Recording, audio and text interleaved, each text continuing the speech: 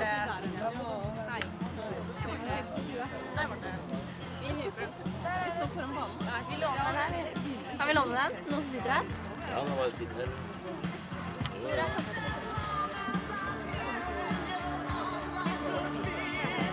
Deler vafelen med meg, så er det ditt.